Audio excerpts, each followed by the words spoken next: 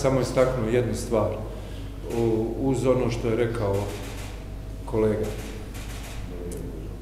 Ako nam je u fokusu dijete, ako nam je centar svega dijete, da mi trebamo gledati da što manje povrijedimo dijete i na temelju toga odlučiti što je dobro, a što ne. Ja zaista mislim da ako nam je centar svega dijete, da njega vaditi nakon silne traume, bez obzira što je nanesena trauma i tim roditeljima od kojih je uzet, ako je centar dijete, onda nanijeti njemu još jednu traumu, mislim da nije dobro. Ono što je ključno u svemu ovome, netko laže.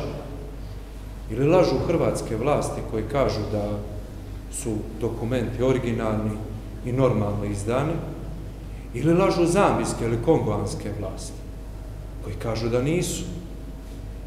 Sljedeće pitanje, na koji način netko može dobiti putovnice da nije pokazao to dijete?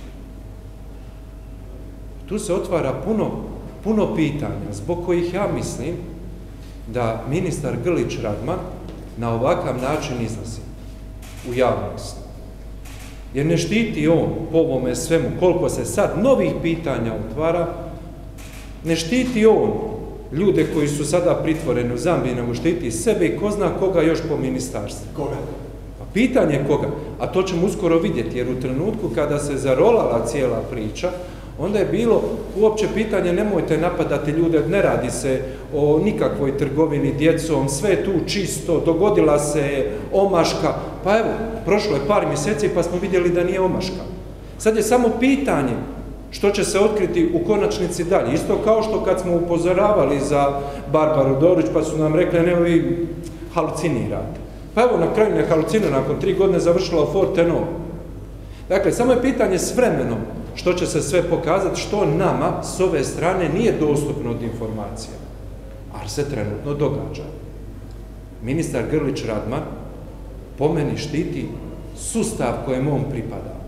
Dobro, ali vi ali ono što je problem... Djecu i obitelji koji tako je, ali ono što je meni... Da, zato što mislim da...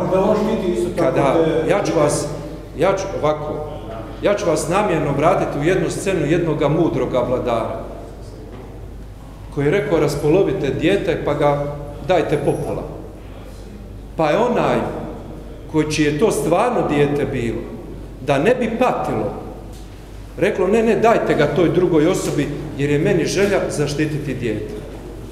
Razumijete?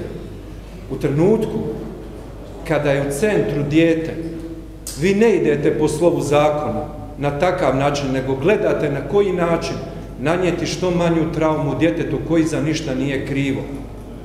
Svi mi možemo dokazivati različite stvari. Jesu li se dokazale, jesu li se pokazali propusti? Jesu. Jesu li zbog toga ranjeni određeni ljudi? Vrlo vjerojatno jesu. Ali u svemu ovome mi gubimo iz fokusa djecu. Ja sam vam ovdje postavio pitanje prije 15-20 dana, nisam na to dobio uopće odgovor. Kako to? Da u tri i pol mjeseca nitko ne pita gdje su djeca. Tek zadnjih tjedan, dva dana se pojavila informacija da su oni na sigurno. A tri i pol mjeseca tih četvoro djece, za njih nitko nije pitao. A nije istina? Istina je. Istina je, ja sam pitao, niko mi nije davao odgovor. Ja sam pitao zašto ministarstvo ne pita, zašto ministarstvo ništa ne kaže. Ja sam pitao i nisam dobio odgovor. Tek zadnjih tjedan, dva dana vam se to pojavljuje u javnosti. To vam govori koliko smo kao društvo pali. Mi ćemo se sad ići ratovati preko čijih leđa? Preko leđa djece. Ne pada mi na pamet. Za mene su djeca svetinje.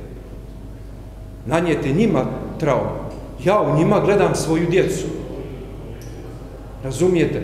Meni je u centru uvijek dijete. I za mene je loše ako ćete krenuti u reviziju svih onih koji su došli u Hrvatsku. Jer ćete, da bi poštivali slovo zakona, odnosno pravdu, vi ćete nanijeti zlo toj djeci.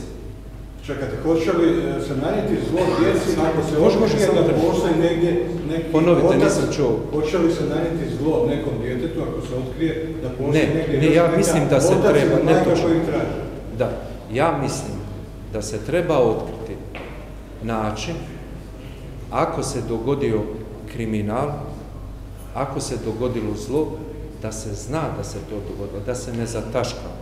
Ok. S druge strane, mislim da u svemu onim odlukama koje će slijediti u budućnosti se treba najvažniji fokus dati na djecu i na zaštitu njih. Ok. A, ono što je ključno, ključno je da se ovakve stvari nikada više ne dogode. I onda neće biti rak.